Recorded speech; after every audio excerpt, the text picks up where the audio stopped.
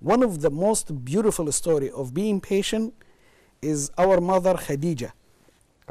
Radiallahu anha. Right? She did something showing how a woman, a very special woman, could be patient. Right? Imagine that she married a man, sallallahu alayhi wasallam, who's younger than her for, for 24, 25, uh, 15 years. Yes. She was 40 and he was 25 sallallahu alaihi wasallam right?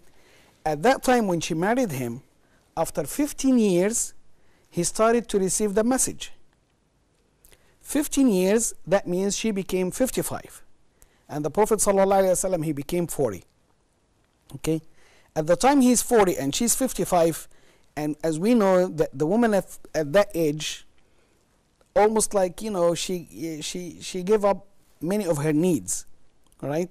So at that time, the Prophet ﷺ, he started to take his food and his things that he need and being absent of the house for days three days seven days whatever right and go to the cave in the mountain Mhm.